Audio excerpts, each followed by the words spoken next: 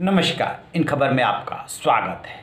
सपा प्रमुख और उत्तर प्रदेश के पूर्व मुख्यमंत्री अखिलेश यादव के उकसाव पे मुरादाबाद में हुई पत्रकारों की पिटाई मामले ने तूल पकड़ लिया है और अब उस मामले में पत्रकारों ने अखिलेश यादव के खिलाफ एफआईआर दर्ज करा दी है। और जो एफआईआर हुई है, वो आईपीसी की धारा one four seven, three four two और थ्री टू थ्री के तहत, यानी कि राइटिंग यानी कि बलवा और उसके बाद रॉन्गफुल कन्फाइनमेंट यानी कि रोक लेना और मारपीट। ये मामला दर्ज हुआ है। उधर से समाजवादी पार्टी के जो जिलाध्यक्ष हैं, उन्होंने भी कुछ पत्रकारों के खिलाफ एफआईआर दर्ज कराई है। लेकिन सबसे जो खास बात है, वो ये कि सब कुछ अखिलेश यादव के उकसावे पे हुआ।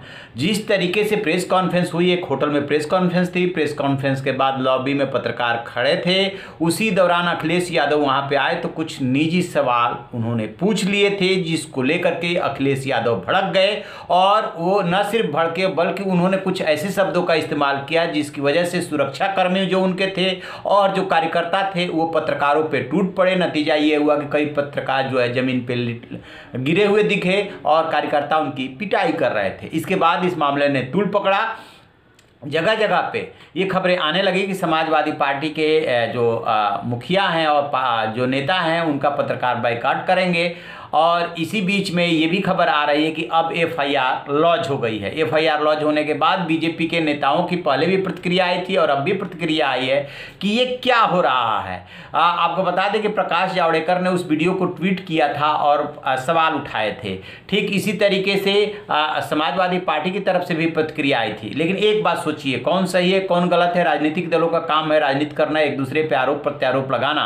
लेकिन जो समाजवादी पार्टी लोकतंत्र का पहरुआ बनती है लोकतंत्र का रखवाला बनती है, वो समाजवादी पार्टी के नेता के सामने, चाहे जैसे सवाल पूछे गए हों, क्या कोई निजी सवाल पूछेगा, जो आपको इरिटेट कर रहा हो, उसके जवाब में आप पत्रकार के साथ मारपीट करेंगे? उसके उसके साथ गाली गलौज करेंगे तो फिर तो कोई किसी से सवाल पूछेगा ही नहीं। तो कैसा लोकतंत्र बनाना चाहते हैं हम? ऐसा नहीं है कि बीजेपी इस मामले में दूध की धुली हो। बीजेपी के नेताओं पे भी ऐसे आरोप लगते हैं। लेकिन कहीं से कहीं ऐसी घटना नहीं है जिसमें कि बीजेपी के नेता के या बड़े नेता के सामने पत्रकारों की पिटाई हो रही हो। और अखिलेश यादव के सामने ऐसा पहली बार नहीं हुआ है। अखिलेश यादव पहले भी पत्रकारों पर भड़कते रहे और दलाल और न जाने क्या क्या बोलते रहे यानी कि जो कोई सवाल पूछेगा, जो आपको सूट नहीं करेगा तो फिर आप पत्रकारों को दलाल ठहरा देंगे।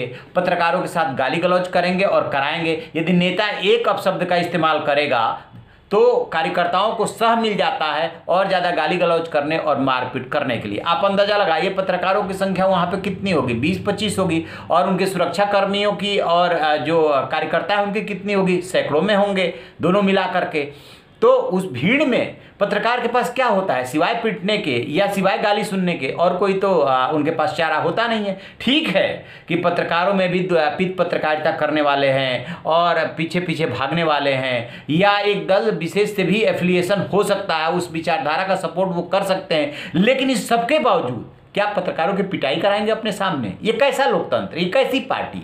सवाल तो बनता है। आप देखते हैं कि यूपी पुलिस इसमें क्या एक्शन लेती है? मुरादाबाद पुलिस क्या एक्शन लेती है? क्या अखिलेश यादव से पूछताछ करेगी? इस पर नज़र रहेगी। तो आप रहिए ना बेखबर, देखते रहिए इन खबर। Thank you